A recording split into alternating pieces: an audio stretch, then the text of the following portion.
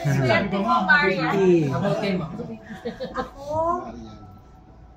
ako that this will age me. Hmm. Sino ba maganda para sa akin? Ano man sabihin Vilma Santos? Yung mga ganda na ako kay Ate V. yes, of Wow. course. Ay, Pero wag naman. Ang idol ko na lang, nung bata ako, uh, I was um, a fan of Maricel Soler. Oo, di ba? Nakita niyo po yung personal flawless. Ah, flawless. Na. puti-puti. Ayan na.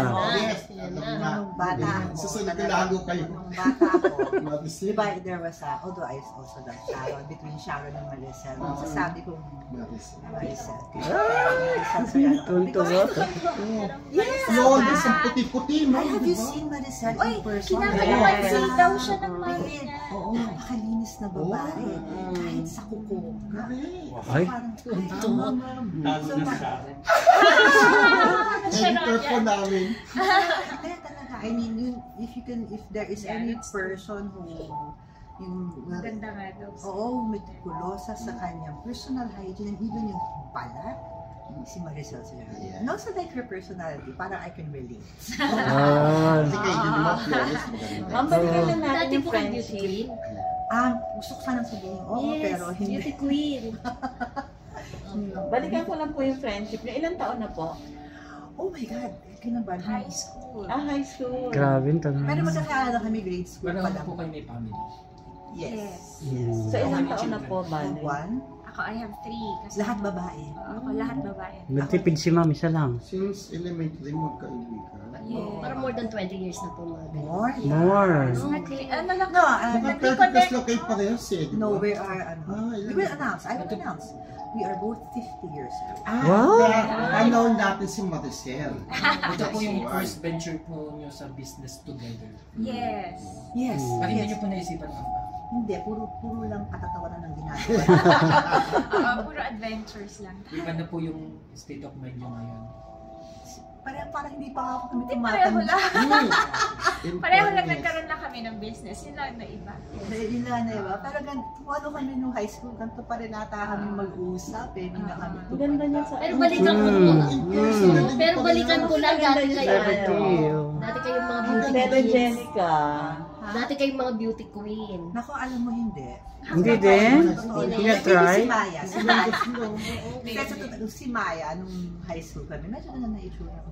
Nung high school ako, ako tomboy ako. Oh? Tanongin niyo si Maya. Niligawan siya.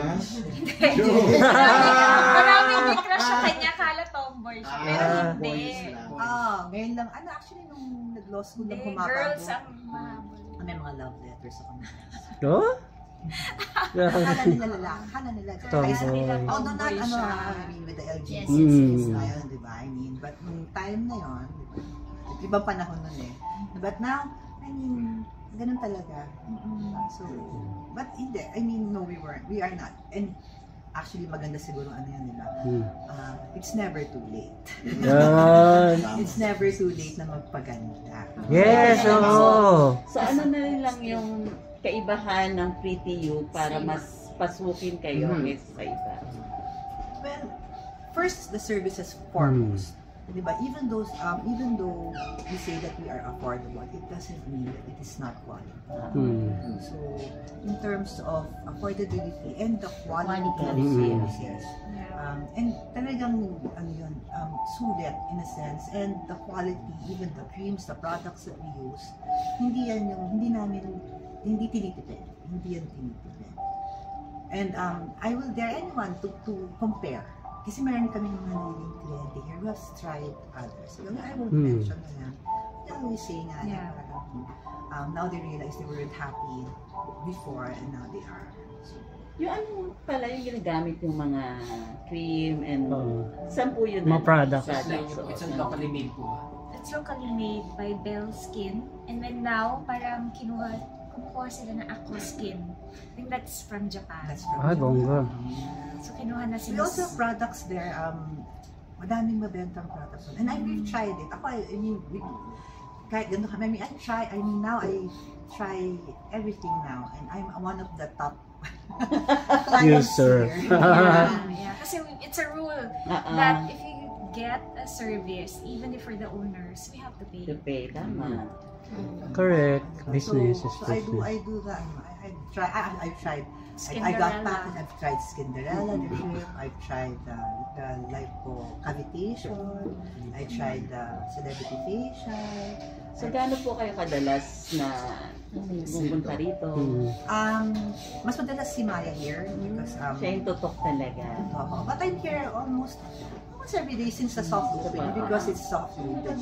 Mm. So we're trying to establish from protocols. But I committed naman, I'll be here most days. Malapit lang naman eh. Oo. Malapit lang naman. We both live near. My Iniwan office... nga niya ako eh, construction. Sorry na. Sorry na. Nag-America. Ah, Sabi nga ni, ni Marie Chris, editor namin, balikan natin ulit ang friendship nyo. mm. Ano yung isang malaking bagay na pinagkatampuan nyo? Siyempre, sa mga friendship, may ganun, di ba? Kayo po ba meron na? Nagtatampuhan naman. na ng malaki? Never. May malaki. Never. Never. Wala, Ah. wala, wala. Wala. Ay, Wala, wala pa. Ano Kayo kayo ba yung tipong magkaibigan na kapag may konting tampuhan, pinag-uusapan nyo kaagad? Hindi na pinaratagal. Hindi kami matampuhin. Hindi kami Asa hindi? Kasi pag meron kayong may, ay, may ayaw kayo sa isa't isa, sinasabi Mm. nyo kagad. Oo. Oo. Yung bakit ka ganyan? Yeah, Ay, ayoko na na po. gano'n. Oh, hindi yung walang. Oo. Tsaka alam mo, it's also maybe, ang tanda na kasi, ang tanda, Mm. it's also a matter of age. Mm. So, yes, we're Correct. already in our Mm-mm, 50s. mm-mm. Oo. So, yung Hindi, ganito no high school, hindi kami barkada. Mm. It Ah. makes different group of Yeah. friends. Classmates lang kami. Pero pag nasa classroom kami, Kami Chika. Chika kayo. close kayo. kami. Mm. ah, nagugulat tayo ba na magkaibigan kami really? Tapos Ah. noon, even after high school, magkaibigan. Yeah, close kami. Hindi ko alam bakit. Ay, ay, hindi ko Pero na nung nag-college kayo, may communication kayo. Nawala ng konti, ano? After Oo, college. pero Meron pa rin konti. Konti lang, tapos nung nagtrabaho na. Oo, meron pa rin. Meron pa rin. But, but oo, pero ito, magkaiba yung barkada namin. But, hindi kami nagkakatampuhan kasi nga, um, kahit, gagan, kahit tahimik siya at ako ganito, hindi kami yung, Kaya siguro kayo nag-jive kasi isang Mm. tahimik, isang ano, Mm-mm. makulit. well, hindi Makulit, magulo. malumanay lang ang boses niya. Oo. Buti po ganun supportive yung kanya-kanya niyo pong asawa sa mga endeavors. Oo. Oh, naman, wala, wala naman sila magagawa, no? Hindi, pero na, sa, sa, sa, actually, maybe also in, at this age, mm, we, we have our own Ay, thing. yung mga Mm. husband niyo po, na- na-enjoy din yung Hindi pa. services. siya may asawa, ako wala na. Ah. Ay, Ah, ano ano, pong dahilan? available Joke. si Maya. Ako ang manager. Number ko po. Hindi, ako, ako. Pero akala nila ako wala. eh. Oo nga, akala nila siya yung hiwalay. May may asawa. Ah. Hindi, hindi. Siya yung may asawa. Oh, yeah. Napaka- Hindi pa naman natatry ni DJ. Pa. Makamamaya. Sige. Pero, di ba pwede rin naman to sa mga Yeah, lalaki actually, na Mm. maligyoso? Ay, yes. Clients na lalaki. Oh, my brother lang. Mm. Ah, Meron, meron. Mm. Ah, at saka yung anak, anak ng friend mo, no? Oo. Oo, si, Three si- boys. oh, Oo, marami na rin Marami na, lalaki. mga apat na. Oo. Oo. Sige po, parang Beauty is not limited to the female gender. Diba?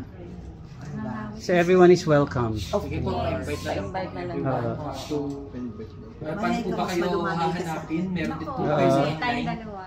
Ay, yeah, follow us on ano, follow us on Facebook and and Instagram ano ba yun? The Pretty You Santolan. In Facebook and in the Instagram, it's also the Pretty You Santolan at the at the Pretty You Santolan. Pwede po sila mag-schedule na. Yes, we um the Yes. numbers are there on our Facebook and Instagram pages. Pwede ba sabihin? Yeah. Oo. Okay, it's Business naman yan. 0960-31205. Memorize. Siyempre, Oo. alam na kung sinong nagtatrabaho. Ah! Alam mo na. Hindi na Alam niyo na. Thank you po. In terms of legal matters, nandiyan naman Oo. Oo nga, naman. Pag ikaw makulong, mo akong Hindi, sa kanya naman yung ano. Wala pwedeng manloko. Sa attorney, eh, pag nalaman na kaagad. Sa kanya naman yung mga papeles. Ayoko. Yung, di ba yung masalimuot yung mga papeles. mga registrations. Mga DTI permit. Yes, siya naman yun. Mayors po. Ayan, there's